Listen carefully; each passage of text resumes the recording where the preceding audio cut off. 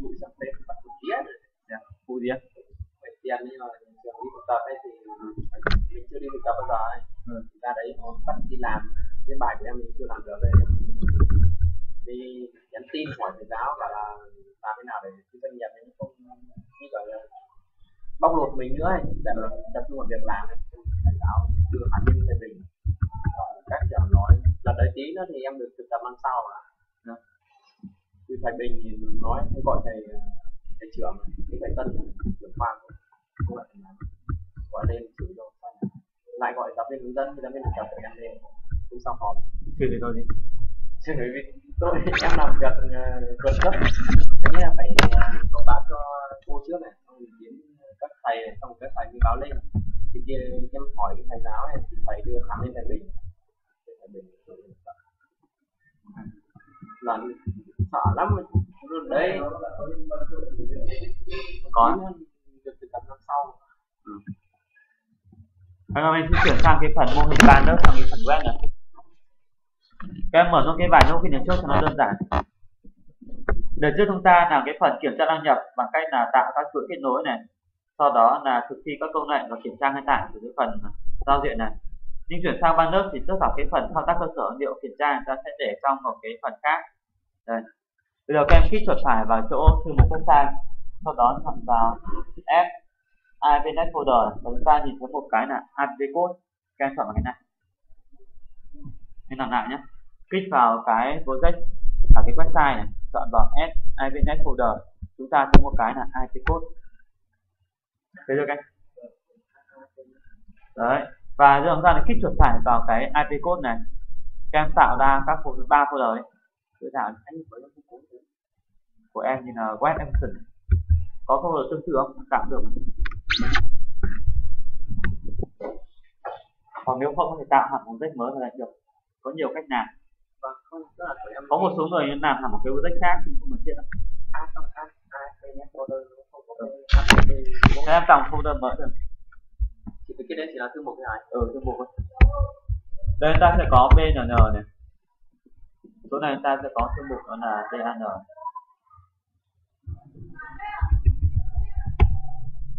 và thư mục thứ ba là entity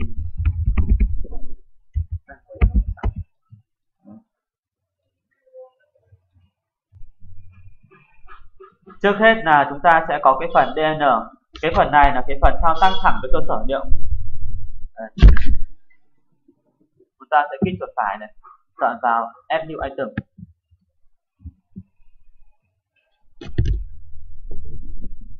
Ờ, ta sẽ chọn vào cái cửa nát. Đấy.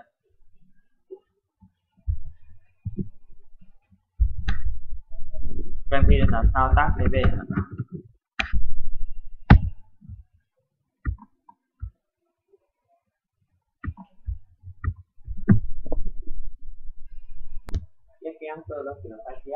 TF thôi ừ đánh thêm cái có sẵn rồi nhé có thể đơn giản nhiều đây. Ban đầu tiên ta sẽ có cái DAN có thể là tên là data set hay ta không nếu được. Chẳng hạn sau cái này, tên là data set thì trong cái lớp tăng set thì chúng ta sẽ làm các nhiệm vụ. Đó là lấy ra cái chuỗi kết nối này. Đấy. sau đó là viết các phương thức để thực thi không truy vấn, tức là dành cho thao tác là thêm sửa xóa, hoặc là thao tác để lấy về cả một cái bảng dữ liệu là exec available này hoặc là một cái nữa chúng ta thể viết về cái exec header để làm mục đích như cái trường hợp chúng ta làm trên trang đăng nhập này. Rồi các em viết một cái lớp này nhé. Thứ nhất, chúng ta sẽ lấy chuỗi kết nối. Các em tạo một cái lớp mới cho. Các em viết các phần phương thức chính thứ nhất, đó là mở kết nối này. Thì sau cái này có một cái liên quan chuỗi kết nối. Thì nay thì các em đó là lấy từ cái file web config ra từ bên này. Đâu viết này trước đi. Dạ, bây giờ tạo một lớp mới ở trong cái file DAL dạ, bây giờ để chuỗi kết nối các em mở cái file web config này này.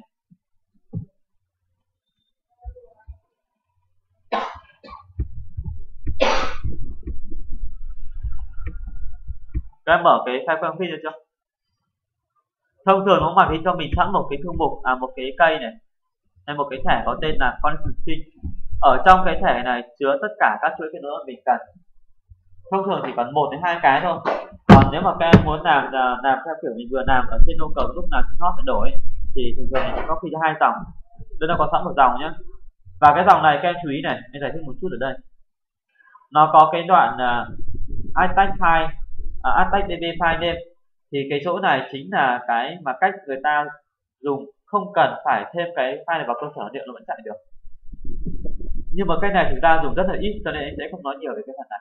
Các em chỉ cần nhìn qua cái kiểu cách người ta làm như này attach db file name là cái cách người ta cho sẵn cái file mdfns vào cái mục cơ sở liệu vào đây này. Các em thấy cái mục này chưa nhỉ?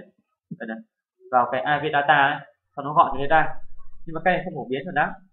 Chỉ gọi mang tính chất đóng gói nó tiện đấy chúng ta sẽ phải dùng cái cách rời rạc ra cho cái nội nối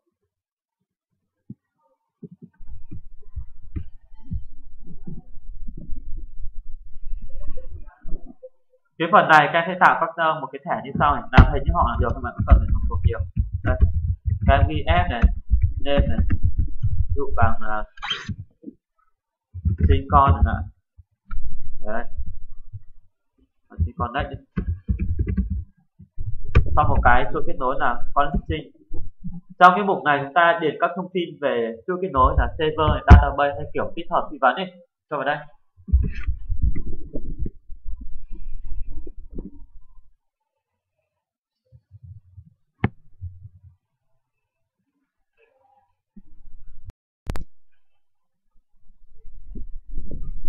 Đây là cái chỗ này ta đặt nó là tên chuỗi kết nối để về sau trong cốt mình gọi ra. Cái là tên chuỗi là chuỗi kết nối cũng được. Hoặc là tên là gì cũng được. Nó lại mình gọi về sau mình gọi theo cái tên này, nó lấy giá trị chứ không phải cố định phải chim con cái gì cả. Còn cái thông giá trị của chuỗi kết nối mình để trong cái con chim này, thì cái phải copy cái mục trước nên là sang khỏi cái nạn đây này. Server này, database này internet security em copy cả nội dung này vào trong kia. Và trong con chim này. Chúng ta cho thêm một dòng cho nó tiện còn có phải đâu nhỉ? Ờ, còn cái cuối cùng các em phải cho thêm vào cũng được. Thêm một cái vào này. Copy cái bên trên này xuống nó có sẵn rồi mà cái provider name ấy copy bên trên này xuống.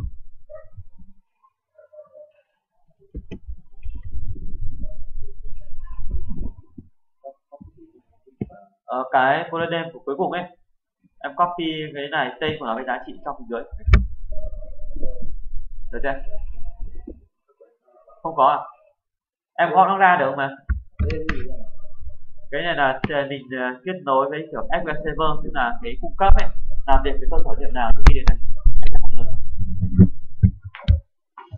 về sau mình có thể làm vào một số cái là ODAC hay là data access là asset ấy thì sửa.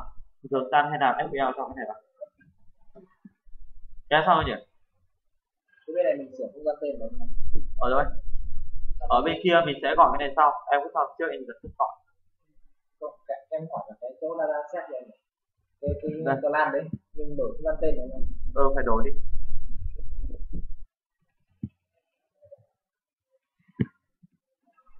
Anh anh bảo lại anh mới có cái tên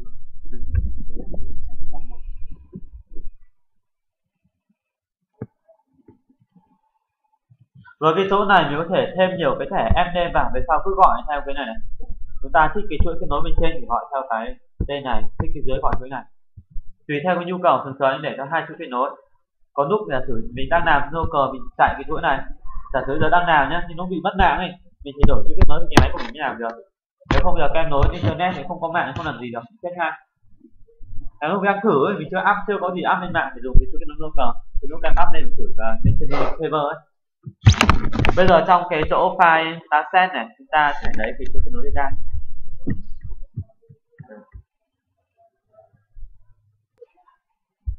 bây giờ để lấy cái chuỗi kết nối ở cái bên cái file nào đó thì các em phải ưu sinh cái system này, web configuration cái này tiếng việt là gì các em nhỉ? Configuration đi cấu hình. Đúng là cấu hình. Bây giờ cấu hình này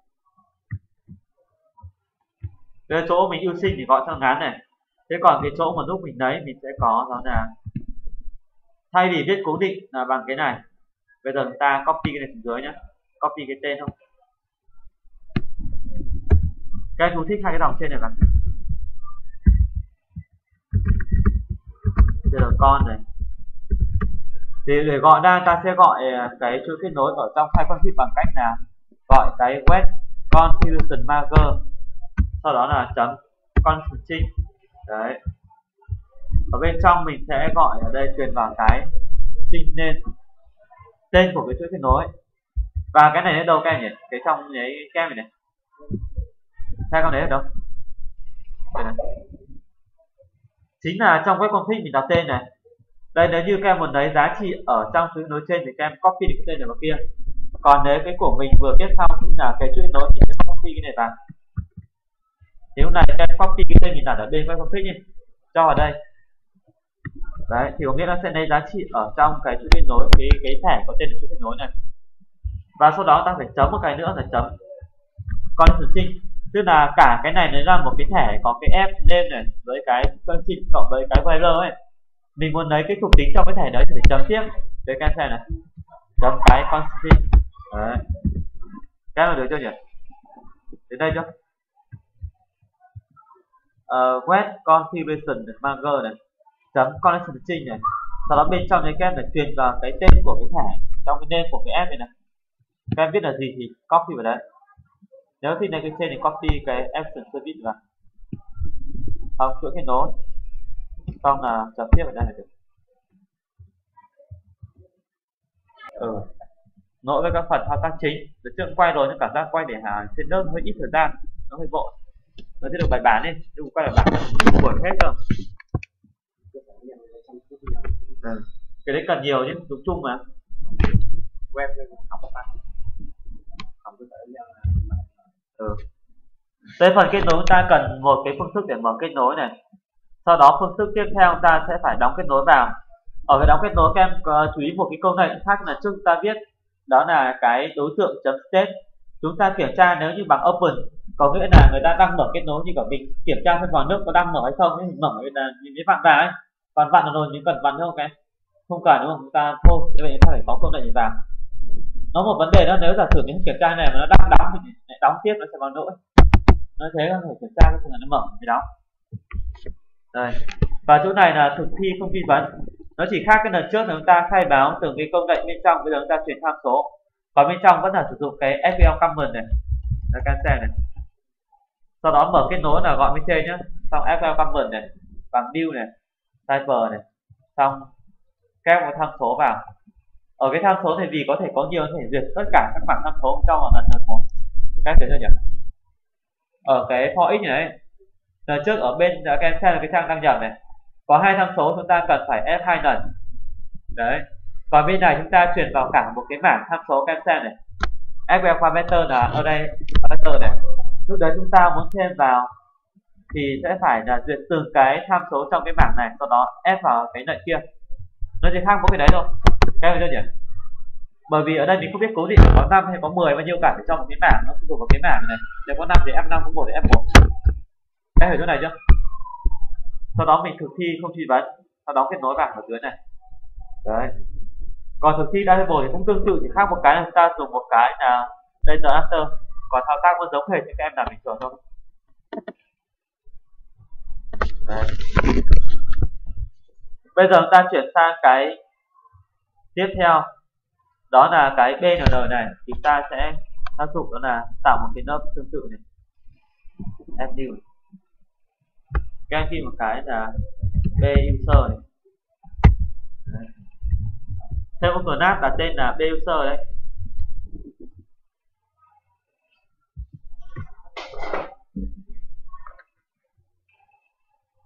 được chưa các? Em ở trong cái lớp này là trước mình có một cái đăng nhập là gì nhỉ? Kiểm tra đăng nhập thì các em viết trong đây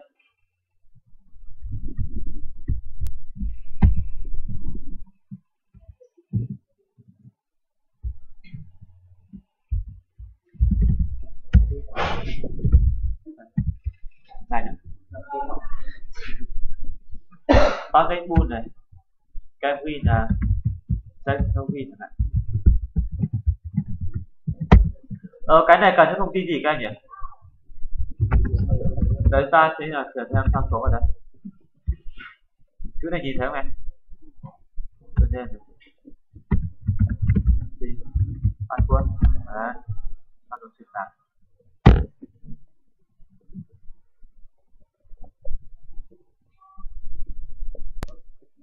Đấy, bây giờ ta quay về trang đăng nhập này. Lần trước chúng ta phải khai báo từng đối tượng comment này, sau đó new gì đấy. Bây giờ các em sẽ tạo cái này bằng cách chúng ta cho sang kia. Này. các em copy các thông tin chỗ kết nối này. Ở đây. SQL copy cái tham số với cái chính SQL cho sang bên này.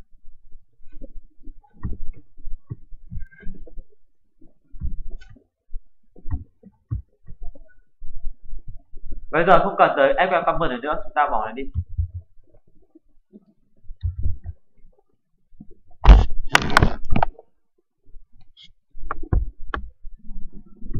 còn tham số chúng ta sẽ khởi tạo cái bảng tham số là SQL này Vector Và yêu sinh cái gì để thao tác cơ sở liệu các em nhỉ? Yêu sinh cái gì nhỉ? Xin tưởng chấm gì nhỉ? Data này Thao tác em là gì cái? Chấm data này, chấm FL client Khai báo thêm hai cái này trên.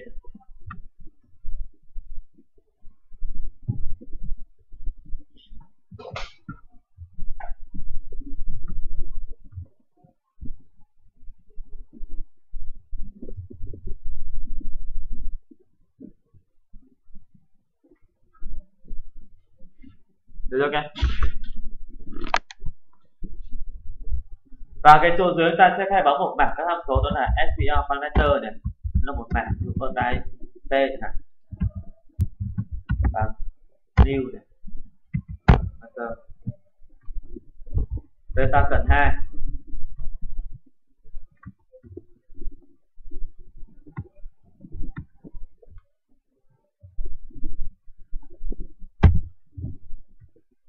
Sau đó hai thì có phần tử chạy ở đâu đâu cái Vâng. bằng tiêu này. Vâng, Parameter đấy. Chúng ta dùng hàm khởi tạo như này có tên và giá trị luôn. Nó dễ không? Ở đây. Một này. New đấy các em xem khởi tạo nhé thứ nhất đó là tên tham số và thứ hai là giá trị của đối tượng. Giá trị của kiểu đối tượng ấy. Đây này. String này. Và object. Một cái là tên. Một cái là giá trị chính là cái bên sau mình viết bên dưới thì em copy dưới này cũng sao vẫn chuẩn thôi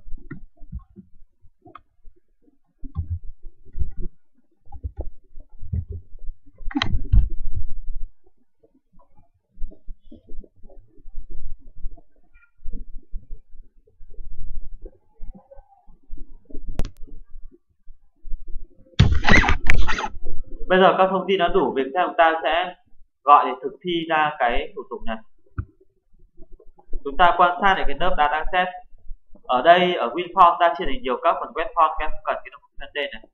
Như user này. Thì cần public class là được. Rồi các em đơn giản thì bỏ cái này đi, không nói tên đi để mỗi class không cái cái xóa này nhỉ? Đấy, đơn giản các em copy một cái class này ra này. Xóa cái name bay đi, để mỗi cần nát không được chưa các em? Được chưa có name bay em xóa cái dòng đi. Đi begin với anh name xóa đi. Ờ cái đoàn xe này để mỗi tuần đã thôi. Đây này. Ừ đây là begin này để xóa theo nào. Có rồi trong public rồi public để nó quy là nhiều chỗ. Được chưa, các em? Public vào đầu này. Bây giờ các em gõ thử bên này thì nó ra. không data set đây nó ra này. Đấy. Chúng ta chỗ này à, vì chưa biết cái insect leader nên các em phải dùng luôn cái data table được. Còn để đầy đủ chúng ta thì sao sẽ có một cái các em cho cái file file helper vào thì khi nó nhiều. Các em có hết file đấy rồi nhỉ? Đấy, chúng ta ép vào dùng cho nó nhiều. Bây giờ ta dùng cái chúng ta có thể tạo nó tiện mấy cái đơn giản để cái thêm vào được. Table đấy. Ở này, đầu tiên à, yêu cầu sẽ là string SQL ta sẽ có là str SQL này. Cái thứ hai kiểu này là gì các? Ờ, kiểu đầu tiên là gì nhỉ? Thủ tục sẽ là chấm là tiêu này.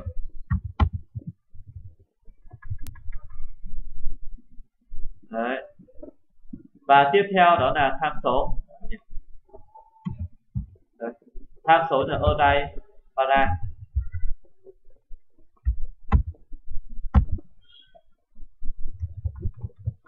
truyền ba thông tin. Thứ nhất đó là cái CFA có thể là câu dạy trình và thẳng tên thủ tục. Cái thứ hai là kiểu định cuộc thi là thủ tục hay là text cái thứ ba đó là danh sách các tham số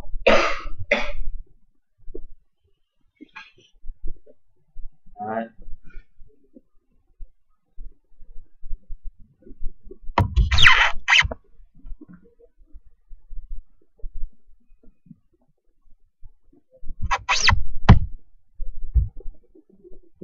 Và cái này trả về data table thì chúng ta sẽ cần một cái để lưu trữ đó là data table dt data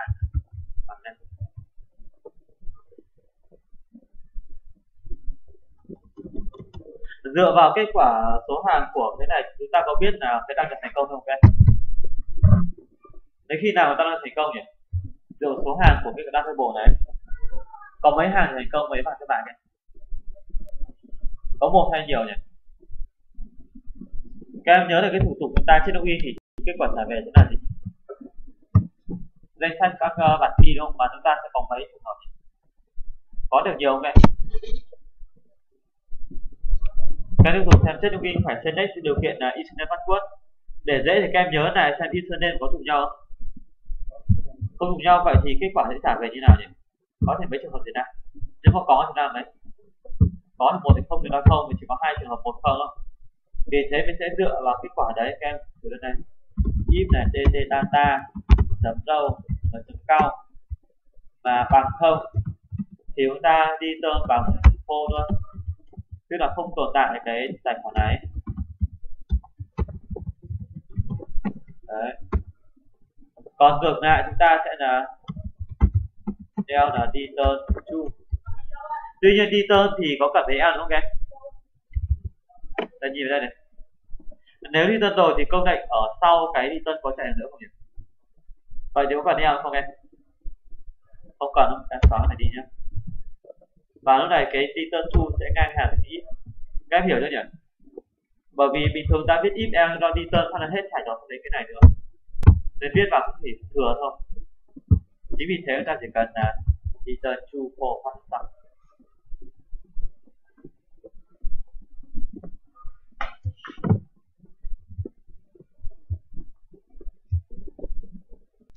cơ chứ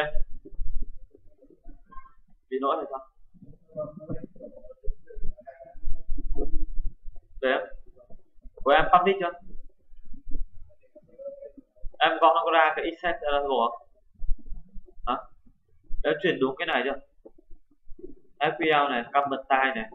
Sau một cái bảng tham số bên trên này xuống. Okay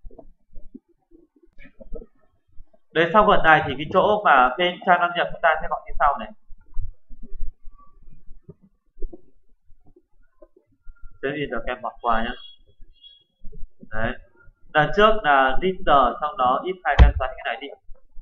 Cái chữ cái nối có cần đây không em? Có cần này không nhỉ? em có cần dùng cái Evanson ở đây không? Em Evanson đi, có cần gì không nhỉ? Đây có hết không? Ta xóa đi không cần nữa. Ờ, open cũng không cần. Đấy. và hiển nhiên cái chỗ finally cũng không cần. Đấy. lúc này thì cả cái đoạn là bằng cái gì kia? Đấy nhá inoxin này. Chúng ta chỉ bằng có b user chấm. Inoxin giờ các em b user chấm thì chưa ra gì bây giờ để muốn ở đây chỉ cần tên lớp sau đó chấm tên phương thức ra. Thì chúng ta làm nào các em thứ nhất chỗ này public rồi cần thêm cái gì để gọi con tên lớp nhỉ cái nào còn nhớ đúng rồi static. Đây chính là tác dụng static là tích. Static để vào trước cái phương thức hay là cái thuộc tính chỉ cần là tên lớp chấm tên phương thức của tính ra luôn. Ờ, chứ không phải là gọi thành đối tượng mới nữa. Đấy. Thêm static thì lúc này các chỉ cần là chấm check check in này. Truyền vào hai tham số là username có rồi này. Password có rồi. Đấy thế là xong. Và cái chỗ này teacher chấm tít thì không cần thiết nữa.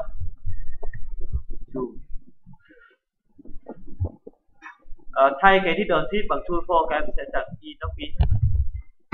À, với không cần phải gắn làm gì. Ok. về.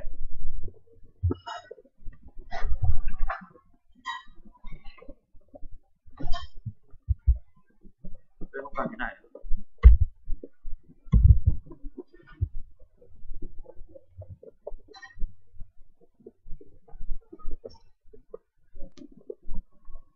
Bây giờ chúng ta thấy còn cái lỗi giả sử giờ đấy rất đa quyền này. Hoặc đấy là cái full name thì chỗ này rất là vướng. Vì thế chúng ta sẽ xin ờ, có một cách khác để chúng ta làm việc này.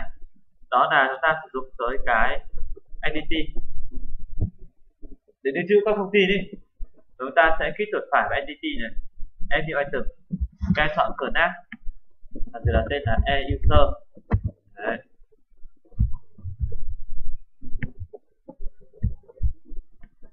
Ở chỗ này chúng ta có public này. Mà này, được tin này. Đây rất là user này. Là này. Chúng ta tạo một cái lớp để lưu thông tin của đối tượng đăng nhập ấy người dùng ấy. Nên password này. Đấy. Thank you.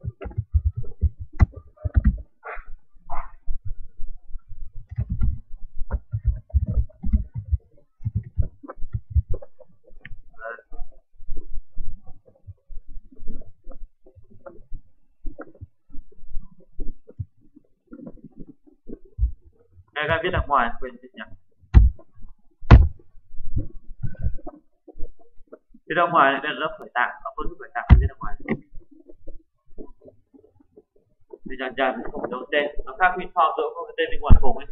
Là phát cửa nát luôn chẳng chúng ta viết ở trong cửa nát đây là phương khác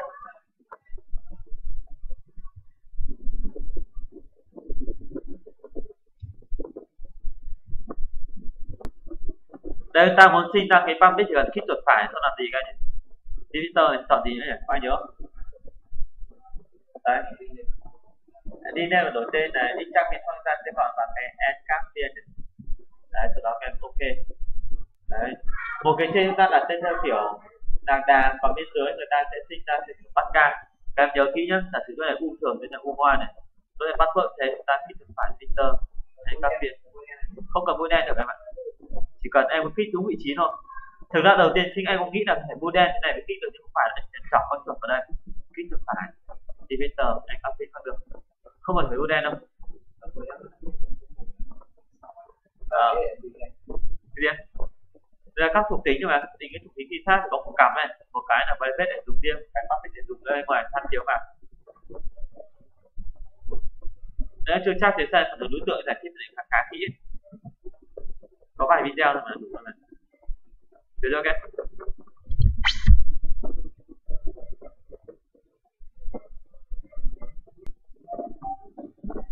có cái lớp này rồi thì ở bên chỗ bên này, cái chỗ mà nó page ấy, toàn bộ cái thông tin về tài khoản người dùng username password thì mình sẽ không theo kiểu viết biến gì nữa mà các em khởi tạo đối tượng này. Đó là e user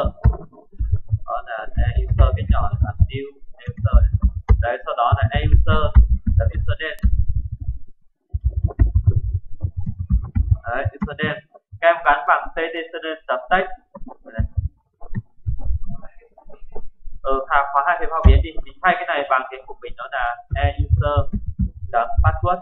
Các em chưa nhỉ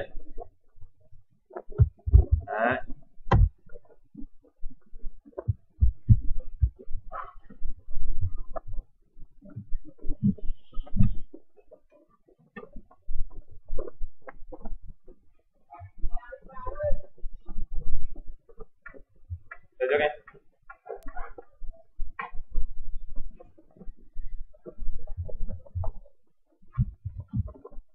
sao chưa cường nàng rằng đấy bao giờ chưa đấy những cái bảo là thiết kế của quảng đấy. Nó là anh đưa em một cái tờ không có cái thằng phát ga thì nó làm màu vàng rất đơn giản đấy chụp ảnh lên thế xem.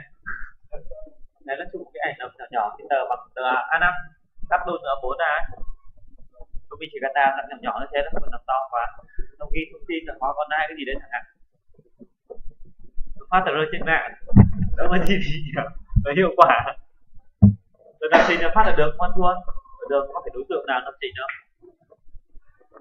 còn kia kiểu bán hàng thì nó đúng của nó sản kết quả. Mình áp dụng thế được. Xong chưa kia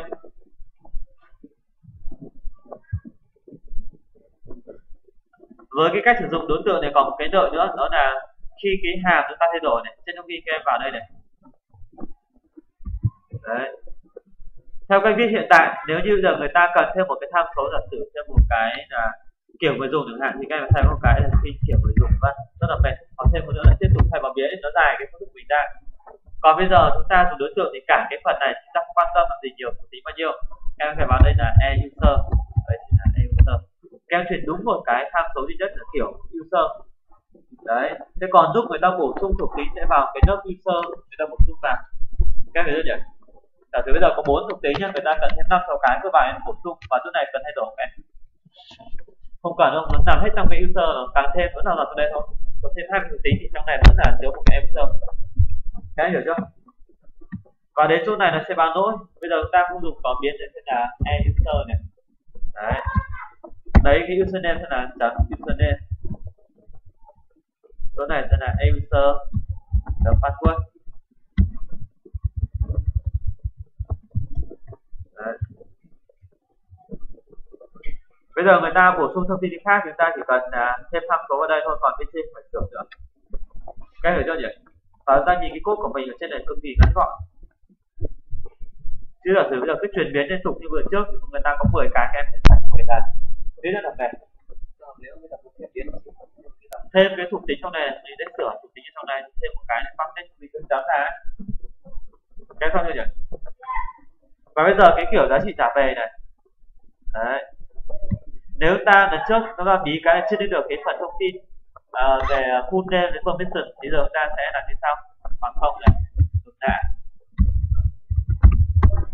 tức là trường lại có giá trị chúng ta sẽ có e user này chấm full name này đủ bằng. Cái này mình sẽ lấy thông tin ở bên kia ra. Em phải báo một cái data row này. Bằng dt data row không tức là chúng ta lấy ra hàng dữ liệu đầu tiên. Bởi vì khác không chắc chắn ta sẽ có trường hợp chỉ bằng một thôi. Nguyên nhân là do select của mình chỉ kết quả thì không đến một. Và cái đầu không đấy là hàng đầu tiên. Trong hàng đầu tiên là các em muốn lấy ra cột uh, name là đâu? Full name chấm function các hiểu nào nhỉ?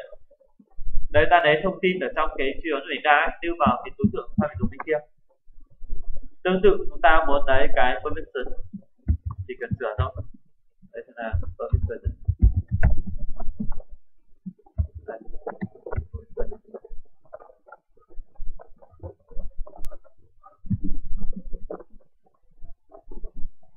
cái hiểu chỗ này chưa nhỉ? Đây là cách lấy dữ liệu từ trong một table này. Chúng ta sẽ thông qua một cái hàng dữ liệu. Trong hàng này có các cột. Chúng ta sẽ là đâu ở vị trí cột nào. Rồi với chuỗi là tu trích về sau chúng ta lấy các kiểu quy của các kem dùng in nó pass mát, tùy tùy của mình. Các em hiểu chưa chứ cái về sau có những cái thông điệp cần em cần đấy ra là, kiểu, số nguyên thực thực cái này biến đổi từ cái này ra. Đây và nó chấm pass là ra thủ nguyên là thực thực nếu cái tàng sao chúng ta sẽ làm một cái web để các em làm nhiều trường hợp hãy nhớ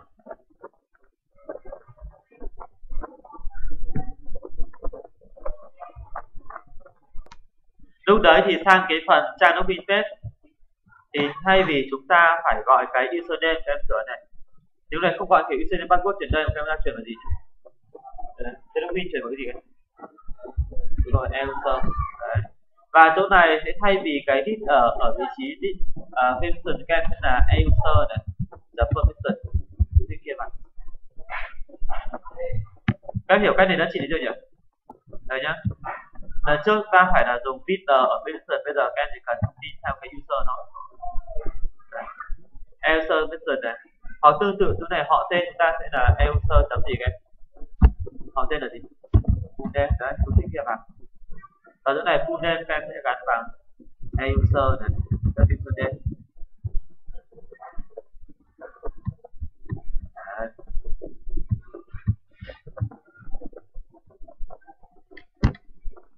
Đây tôi có sự khác biệt nhiều đắn với của. Để các bạn các thao tác không thực hiện đúng, khác một cái ta đưa vào cái đối tượng là chuyển qua các nhiều các lớp khác nhau.